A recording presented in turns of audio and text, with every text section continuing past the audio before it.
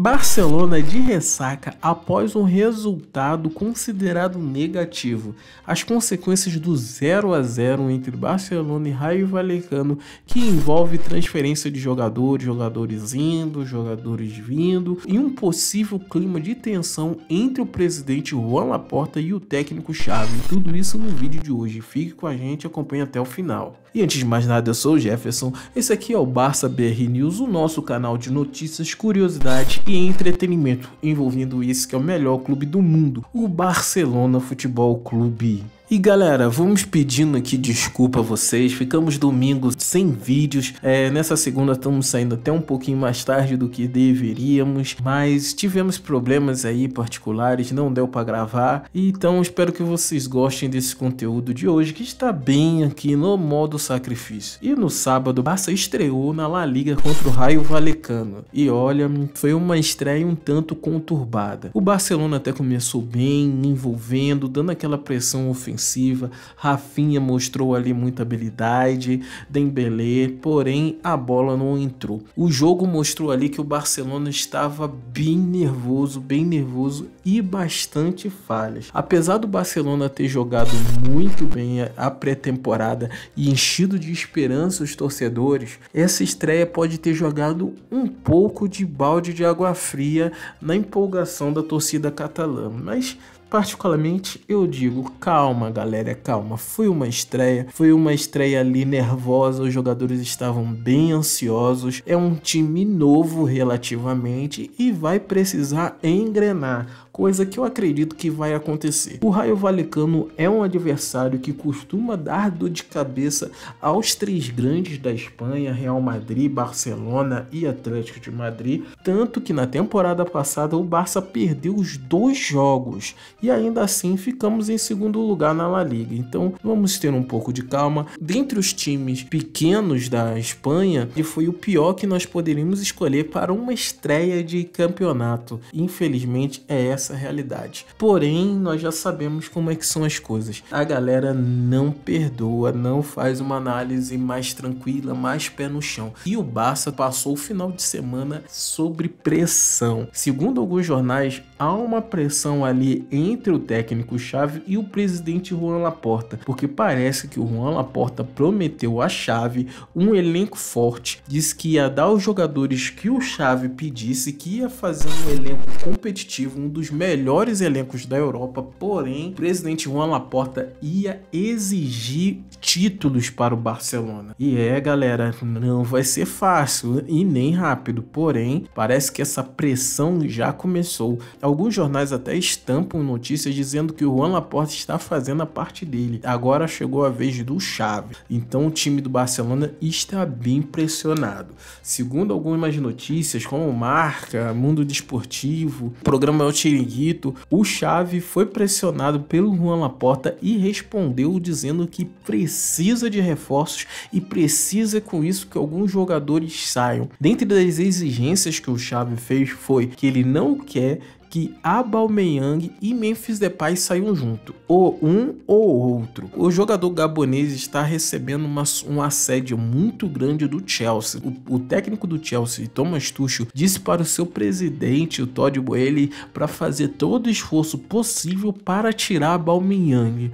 E agora o Juan Laporta está ali tentando blindar de tudo quanto é jeito a saída do jogador por desejo do técnico-chave. Já Memphis Depay está pertinho de sair. Todos os acordos entre o jogador e a Juventus finalizaram. O, o jogador holandês aceitou a proposta do clube de Turim e falta agora os últimos ajustes entre o Barcelona, que já que o nosso time não está afim de perder o Memphis Depay de graça está querendo fazer alguma negociação, provavelmente, provavelmente ainda não é certo, o Memphis Depay vai de graça ali para o time de Turim ou com um valor baixíssimo assim, um valor bem simbólico, e o Barcelona vai reter alguma porcentagem do jogador para uma venda futura esse será a provável negociação entre Barcelona e Juventus. E aí, galera, o que, que vocês acham? O Memphis Depay, ele está saindo numa hora boa? Vocês preferem o Memphis, preferem o Aubameyang? Particularmente, eu prefiro o Aubameyang, mas Enfim, meu medo é perder o jogador gabonês. Esperamos que não. E uma outra situação que está sendo bem tratada nesse final de semana é a necessidade de reforços. O Xavi disse que ainda precisa de reforços. E segundo alguns jornais, o presidente Juan Laporta vai seguir essa semana pesado para poder inscrever o Júlio Esconder, contratar o Bernardo Silva, pois o presidente do Barcelona quer fechar com o jogador português o mais rápido possível. Inclusive, o jogador português chamou a atenção da mídia inglesa após a partida em que o Manchester City venceu por 4 a 0. O jogador entrou no segundo tempo e após a partida, ele ali saiu para cumprimentar a torcida, aplaudiu, deu tchau, entregou camisa, numa cena que para muitos soava como uma despedida. Inclusive, o jogador lusitano postou em seu Instagram, aspas, uma grande exibição da equipe em um ambiente fantástico. Gostaria também de agradecer a todos os belos momentos de amor e apoio que me demonstraram comentou Bernardo Silva na sua conta no Instagram. Além de uma mensagem tipo: Eu voltarei. Então tudo indica aí que o Bernardo Silva está confiante na negociação e ele irá para o Barcelona. É uma exigência do técnico-chave para o momento.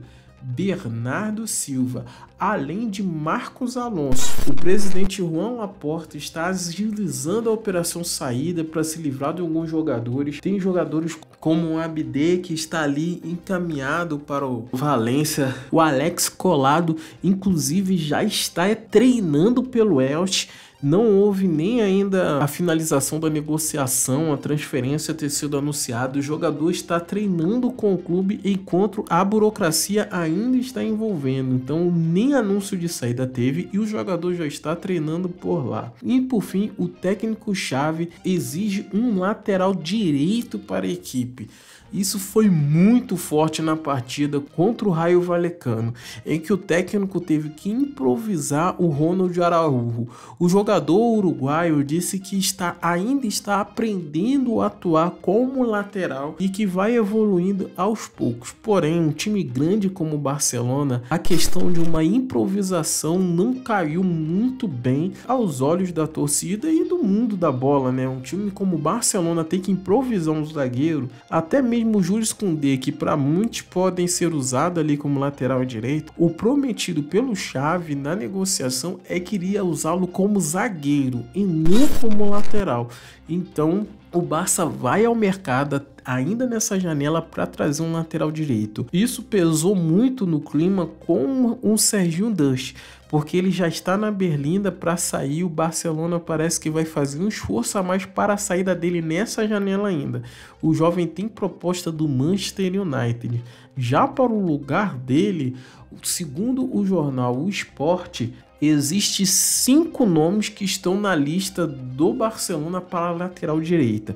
O primeiro é o Milner, que nós já comentamos aqui. Os outros seriam Frimpong, do Bayer Leverkusen, o lateral Foyf, do Vila Real, o Van Bissaka, do Manchester United e o Dalot, também do Manchester United. São esses os jogadores que estão na lista de laterais direitos para o Barcelona. É, galera, realmente a questão das laterais estão aí. O técnico-chave vai investir pesado para que o Marcos Alonso venha ainda essa semana, que o Barça possa anunciar o Marcos Alonso nesta semana. E um desses nessa lista, Milne, Frimpong, Foyfit, Van Bissaka, Dalot, um desses vão ser o lateral direito do Barcelona. E aí, galera, algum desses nomes aí anima vocês?